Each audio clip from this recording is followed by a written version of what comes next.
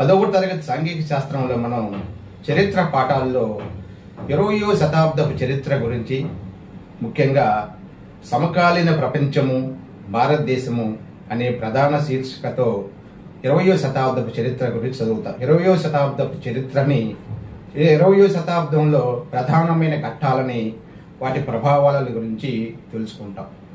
ఈ క్రమంలో మనం భారతదేశానికి సంబంధించి ఇరవయో శతాబ్దపు భారతదేశానికి సంబంధించి స్వాతంత్రోద్యమ చివరి ఘట్టాన్ని గురించి స్వతంత్ర భారతదేశంలో జరిగిన ముఖ్య పరిణామాల గురించి మనం అనేక విషయాలను చర్చించుకుంటాం అనేక విషయాలను తెలుసుకుంటాం. ఈ పాఠాల యొక్క ఈ పాఠాల అధ్యయనంలో ముఖ్య ఉద్దేశం ఏమిటంటే ఇటీవలే మనం స్వాతంత్ర భారత స్వర్ణోత్సవాలు జరుపుకున్నాం. భారతదేశానికి స్వతంత్రం వచ్చి డెబ్బై ఐదు సంవత్సరాలు పూర్తయిన సందర్భంగా ఘనమైన వేడుకలు మనం జరుపుకున్నాం.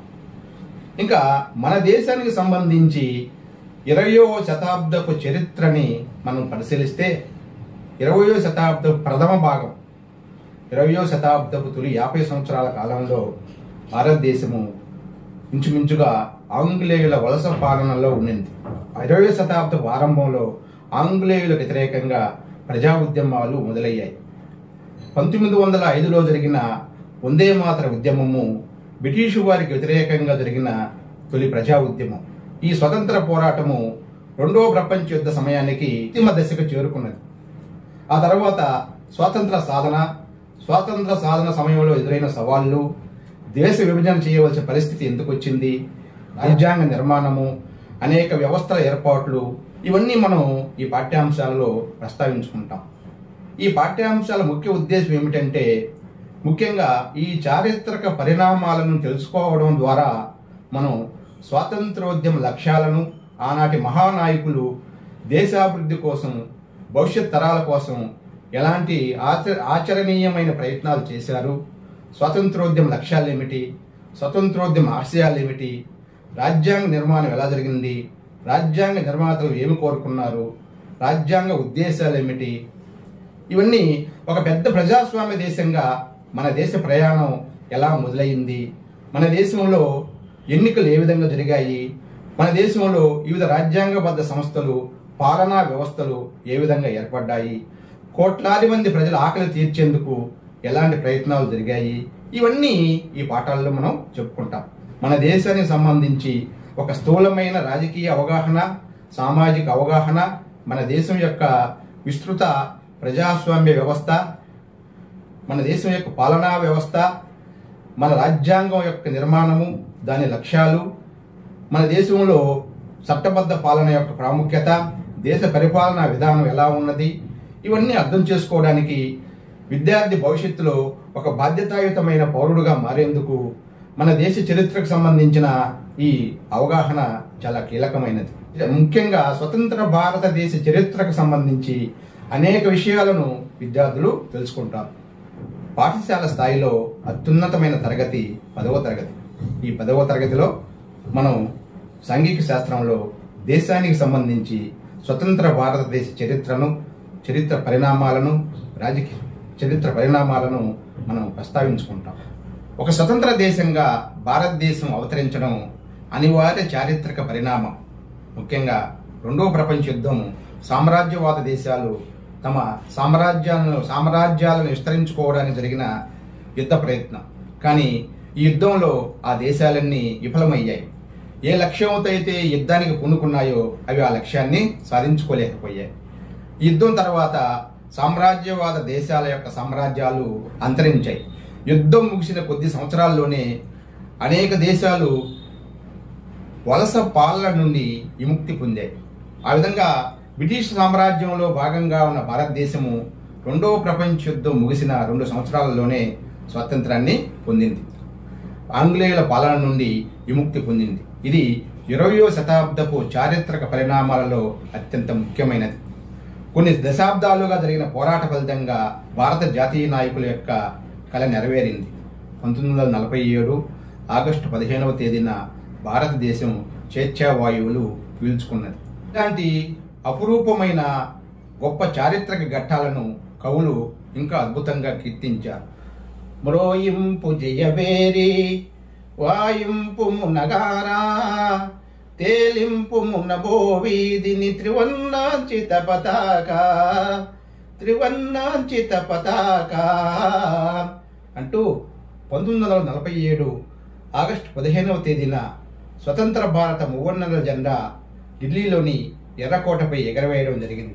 వలస పాలన నుండి విముక్తి పొంది స్వేచ్ఛావాయువులు పీల్చుకున్నాయి. ఈ మహోజ్వల స్వాతంత్ర ఘట్టాన్ని కవి ఈ పాటలో ప్రస్తావించడం జరిగింది.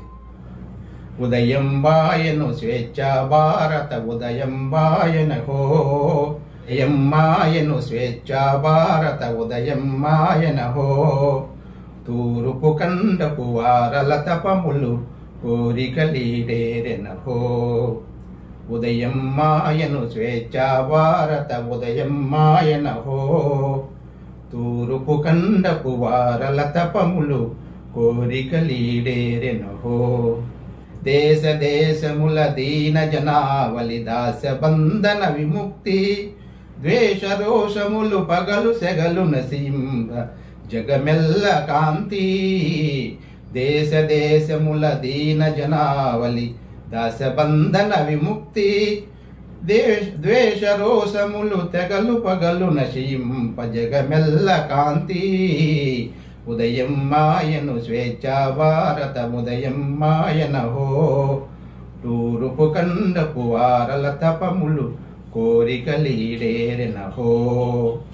సామ్రాజ్యవాద యుగంలో ముఖ్యంగా పాశ్చాత్య దేశాలు ఐరోపా దేశాలు పశ్చిమ దేశాలు ఆఫ్రికా ఖండాన్ని ఆసియా ఖండంలో ఉన్న విశాల ప్రాంతాలను తమ వలస దేశాలుగా మార్చుకుని ఆ దేశ సంపదలను ప్రజల శ్రమను రక్తాన్ని దోచుకున్నాయి ఇవి ఉన్నాయి ఈ రెండవ ప్రపంచ యుద్ధంలో ఈ దో ఈ సామ్రాజ్యవాద దేశాలు తమ శక్తి సామర్థ్యాలను కోల్పోయాయి. ఇక యుద్ధం తర్వాత తప్పనిసరిగా ఈ దేశాలన్నీ ఈ తూర్పు దేశాలకు ఆసియా ఖండంలోని భారతదేశానికి ఇండోనేషియాకు చైనాకు శ్రీలంకకు బర్మాకు ఈ విధంగా అనేక దేశాలకు స్వాతంత్రం ఇవ్వవలసిన చారిత్రక గత్యంతర పరిస్థితి ఏర్పడింది. ఈ విధంగా రెండో ప్రపంచ యుద్ధం ముగిసిన కొద్ది సంవత్సరాల కాలంలోనే వందకు పైగా దేశాలు వలస పాలన నుండి విముక్తి పొందాయి. ఈ అద్భుతమైన చారిత్రక ఘట్టాన్ని కవి ఈ పద్యంలో మనకు ప్రస్తావిస్తాడు. తూర్పు కండపు వారల తపములు కోరిక ఈడేరినహో స్వతంత్ర సాధన కోసం ఈ గొప్ప లక్ష్యం కోసం పోరాడిన మహానాయకులు తమ లక్ష్యం నెరవేరిన సందర్భం అది. అందుకే ఇరవయో శతాబ్దపు చరిత్రలో భారతదేశంతో పాటు వలస పాలన నుండి విముక్తి పొందిన దేశాలన్నిటికీ అది ఒక సొం- అది ఒక అద్భుతమైన ఘట్టం. ఆంగ్లేయుల పాలన ముగిసింది. దేశంలో అనేక సమస్యలు వలస పాలన కాలం నుండి వచ్చిన అనేక సమస్యలు దేశంలో వారసత్వంగా లభించాయి. ఆకలి నిరుద్యోగము నిరక్షరాస్యత మూఢనమ్మకాలు సామాజిక వైరుధ్యాలు ఆర్థిక అసమానతలు ఇవన్నీ సామాజికంగా ఉన్న సామాజిక అసమానతలు ఇవన్నీ ఆనాటి వలస పాలనలో ఉన్న ప్రధాన సమస్యలు.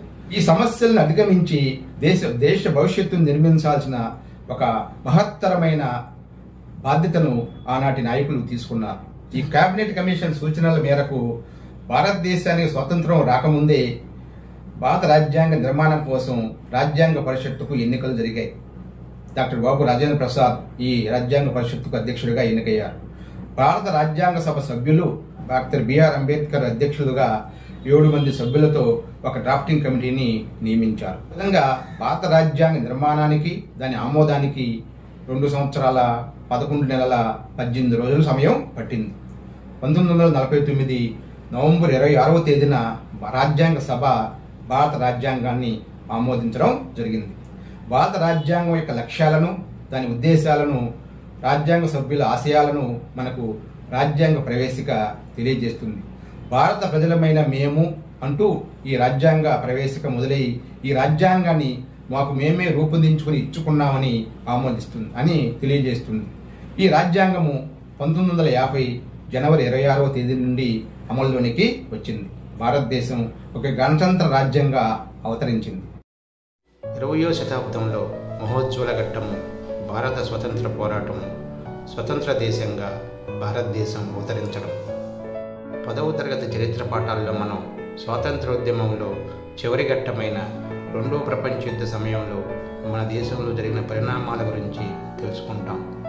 ఆంగ్లేయుల నుండి భారతీయులకు అధికారాల బదిలీకి జరిగిన ఏర్పాట్లు రాజ్యాంగ పరిషత్తుకు ఎన్నికలు రాజ్యాంగ పరిషత్తు రాజ్యాంగ రూపకల్పనకు డ్రాఫ్టింగ్ కమిటీని నియమించడం డాక్టర్ బిఆర్ అంబేద్కర్ ఆధ్వర్యంలో భారత రాజ్యాంగ నిర్మాణం. పంతొమ్మిది వందల యాభై జనవరి ఇరవై ఆరవ తేదీ నుండి భారత రాజ్యాంగము అమల్లోనికి వచ్చి భారతదేశం ఒక గణతంత్ర రాజ్యంగా అవతరించడం. రాజ్యాంగ నియమాల మేరకు పంతొమ్మిది వందల యాభై రెండులో జరిగిన తొలి సాధారణ ఎన్నికలు ఎన్నికల తర్వాత ప్రపంచంలోనే అతిపెద్ద ప్రజాస్వామ్య దేశంగా భారతదేశం అవతరించడం రాజ్యాంగ శాసనబద్ధ సంస్థల నిర్మాణం దేశంలో సామాజిక మార్పు కోసం ఆర్థిక ప్రగతి కోసం జరిగిన ప్రయత్నాలు ఇలా పదవ తరగతి సాంఘిక శాస్త్రంలో చరిత్ర పాఠాల్లో స్వతంత్ర భారత చరిత్రను మనం తెలుసుకుంటాం. స్వాతంత్రం వచ్చిన తర్వాత వివిధ సాధారణ ఎన్నికల్లో వచ్చిన రాజకీయ మార్పులు.